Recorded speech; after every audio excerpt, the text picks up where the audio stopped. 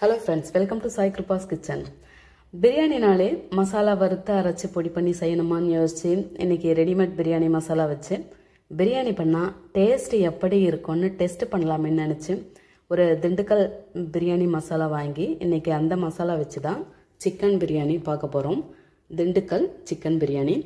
வாங்க வீடியோவுக்கு போகலாம். இந்த திண்டுக்கல் சிக்கன் பிரியாணி பண்ணுறதுக்கு நூறு கிராம் சின்ன வெங்காயம் ஐம்பது கிராம் இஞ்சி அறுபது கிராம் பூண்டு தோல் உரித்து எடுத்து வச்சுக்கலாம்.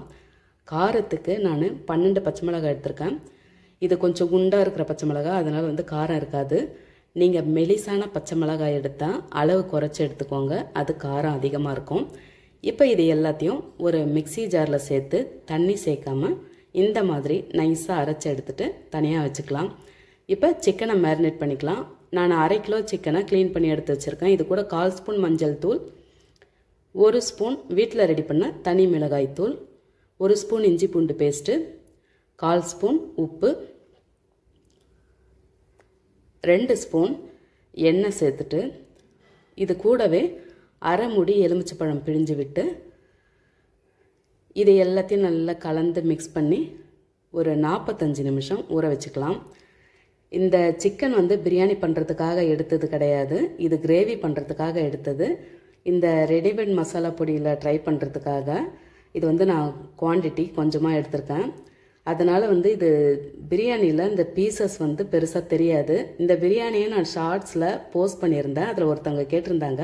இதில் சிக்கனே இல்லையேன்னு அவங்களுக்காக இது சொல்கிறேன் இப்போ அரிசி ஊற வச்சுக்கலாம். நான் சீரக சம்பா அரை கிலோ எடுத்து கழுவிட்டு கால் மணி நேரம் ஊற வச்சுருக்கேன். இது அதிக நேரம் ஊற வச்சா அரிசி உடஞ்சிரும்.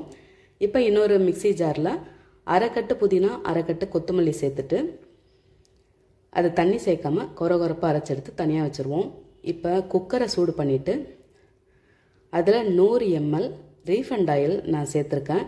நீங்கள் கடலெண்ணெய் சேர்த்தாலும் சேர்த்துக்கலாம். டேஸ்ட் ரொம்ப நல்லாயிருக்கும் எண்ணெய் சூடானதும் நாம் எடுத்து வச்சுருக்க அந்த ரெடிமேட் மசாலா சேர்த்துட்டு மூணு டேபிள் ஸ்பூன் சேர்த்துட்டு அந்த எண்ணெயிலேயே அந்த மசாலாவை நல்லா வதக்கி விட்டுக்கணும். இப்போ அந்த இஞ்சி பூண்டு பச்சை மிளகாய் பேஸ்ட்டு சேர்த்துட்டு அதையும் நல்லா அந்த மசாலாவில் கலந்து விட்டு அதில் இருக்க அந்த பச்சை வாசனை போகிற வரைக்கும் இதை அட்லீஸ்ட் ஒரு மூணுலேருந்து நாலு நிமிஷமாவது இதை நல்லா வதக்கி விடணும். இப்போ பாருங்கள் எண்ணெய் நல்லா பிரிஞ்சு வருது. இப்போ அந்த புதினா கொத்தமல்லி பேஸ்ட்டை சேர்த்துட்டு அதையும் நல்லா கலந்து வதக்கி விட்டுக்கணும். இதுவும் நல்லா பச்சை வாசனை போயிடுச்சு. இதில் ரெண்டு வெங்காயம் பொடி பொடியாக கட் பண்ணி சேர்த்து மூணு பச்சை மிளகாய் கட் பண்ணாமல் சேர்த்துட்டு இப்போ அதை அடி பிடிக்காமல் அடியில் சுரண்டி எடுத்துகிட்டு அப்படியே வதக்கி விட்டுக்கினே வரணும். அப்போ தான் டேஸ்ட் நல்லாயிருக்கும் இப்போ ரெண்டு தக்காளி நீல வாக்கில் மெலிசாக கட் பண்ணி சேர்த்து அதையும் நல்லா வதக்கி விட்டுக்கணும். இது கூட அரை ஸ்பூன் காஷ்மீர் மிளகாய் தூள் அரை ஸ்பூன் தனியாத்தூள் கால் ஸ்பூன் குறைவாக மஞ்சள் தூள் சேர்த்து கொஞ்சமாக கால் ஸ்பூன் உப்பு சேர்த்துட்டு திரும்ப எல்லாத்தையும் ஒரு முறை மிக்ஸ் பண்ணி விட்டுட்டு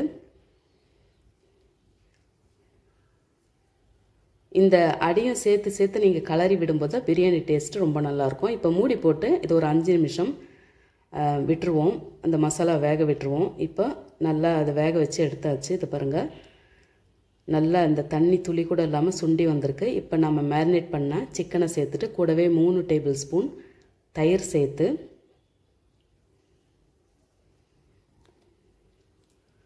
இப்போ எல்லாத்தையும் நல்லா கலந்து மிக்ஸ் பண்ணி விட்டுக்கலாம். இதை நீங்கள் ஒரு ஒரு முறை நீங்கள் கலரும் போதும் அந்த ஓரங்கள் அந்த அடி எதுவும் பிடிக்காமல் நல்லா சேர்த்து கலந்து கொண்டு வரும்போது தான் பிரியாணியோட டேஸ்ட் ரொம்ப நல்லாயிருக்கும் இப்போ இதை தட்டு போட்டு மூடி ஒரு அஞ்சு நிமிஷம் நல்லா வதங்க விட்டுடலாம் பாருங்கள் எண்ணெய் நல்லா பிரிஞ்சு வந்திருக்கு. சிக்கனும் நல்லா வெந்து வந்திருக்கு. அதுவும் நம்ம பீசஸ்லாம் வந்து சின்னதாக இருக்குது அதனால தான் வந்து சிக்கன் பிரியாணியில் சிக்கன் இருக்கிற இடமே தெரியல. இது வந்து சிக்கனுக்கு பிரியாணிக்காக எடுத்த சிக்கனில் கிரேவிக்காக எடுத்தது. இப்போ அது நல்லா வதங்கிடுச்சு. நான் இந்த பவுலில் தான் ஒரு பவுல் அரிசி எடுத்தேன். இதுக்கு ரெண்டு பவுல் தண்ணி சேர்த்துட்டு அதை நல்லா ஒரு முறை கலந்து விட்டுட்டு இது கூட தேவையான அளவு உப்பு சேர்த்து இங்கேயே நீங்கள் உப்பு சரி பார்த்துக்கோங்க. இது கூட அரை மூடி எலுமிச்சப்பழம் பிழிஞ்சு விட்டுட்டு திரும்ப ஒரு முறை எல்லாத்தையும் நல்லா கலந்து மிக்ஸ் பண்ணி விட்டுட்டு இதை நல்லா கொதிக்க விட்டுறணும். கொதி வந்த பிறகு அரிசியில் துளி கூட தண்ணி இல்லாமல் ஃபில்ட்ரு பண்ணி சேர்த்து திரும்ப ஒரு முறை நல்லா கலந்து விட்டுட்டு இப்போ தண்ணி நல்லா சுண்டி வந்து அந்த அரிசி ஒரு அரை பதம் வெந்து வரும்போது ரெண்டு ஸ்பூன் நெய் சேர்த்துட்டு இப்போ தண்ணி அளவு குறைஞ்சிருக்கு பாருங்கள் இப்போ இந்த மெலிசான கரண்டி காம்பு வச்சு கலந்து விடணும். இப்போ கரண்டி நேரடியாக வச்சு நீங்கள் கலந்தீங்கன்னா அது குழஞ்சி போயிடும். இந்த மாதிரி மெலிசான கரண்டி வச்சு கலந்து விட்டுட்டு மூடி போட்டு ஒரு பழைய தோசை தவா இருந்தால் அதை வந்து ஒரு அஞ்சு நிமிஷம் முன்னாடி சூடு பண்ணி வச்சுக்கோங்க. அதுக்கு மேலே இந்த குக்கர் வச்சு மேலே தம்முக்கு ஒரு அகலமான பாத்திரத்தில் தண்ணி வச்சுட்டு இது ஒரு அஞ்சு நிமிஷம்.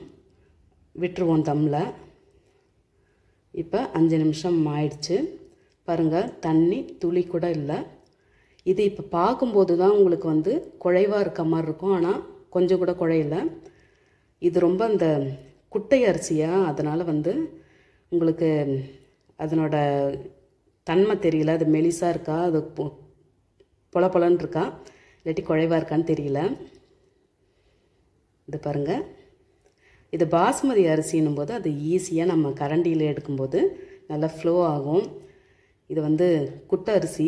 அதனால் வந்து இது இப்படி தான் இருக்குது ஆறின பிறகு தான் வந்து அது நல்லா உதிர் உதிராக பொல பொலன்னு வருது. இப்போ நல்லா அழகாக சூப்பராக ரெடி ஆயிடுச்சு. திகட்டவே திகட்டாது இந்த அரிசியில் வந்து நம்ம பிரியாணி பண்ணி சாப்பிடும்போது. அதே மாதிரி எண்ணெய் அளவு இது ரொம்ப கரெக்டாக இருக்குது இதை பாருங்கள் உங்களுக்காக.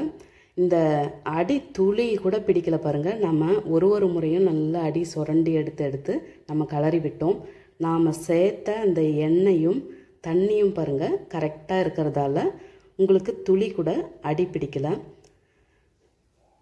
ஒரு வழியாக நம்ம கைவண்ணத்தில் திண்டுக்கல் சிக்கன் பிரியாணி தயாராகிடுச்சு பிரியாணி வாசனை நல்லாவே இருந்தது. ஆனால் நம்ம வீட்டில் நம்ம கைப்பட அரைச்சி பண்ணுற அந்த ஃப்ரெஷ்னஸ்ஸு மிஸ்ஸிங்னு சொல்லலாம். ரொம்ப மோசம்னு சொல்ல முடியாது. ஆனால் நல்லாவே இருந்தது. அவசர கெஸ்ட்டுக்கு அர்ஜெண்ட்டாக பண்ண இந்த மசாலா கரெக்டாக இருக்கும். ரெடிமேட் மசாலா மட்டுமே சேர்த்து நான் இது வரைக்கும் பிரியாணி ட்ரை பண்ணதில்லை.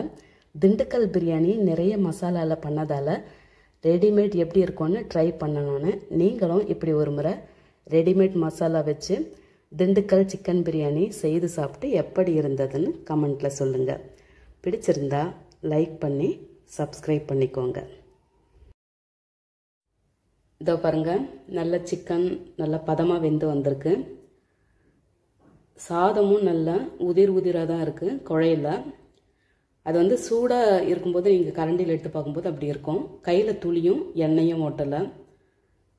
நீங்களும் ஒரு முறை இந்த மாதிரி ட்ரை பண்ணி பாருங்கள் தேங்க்ஸ் ஃபார் வாட்சிங்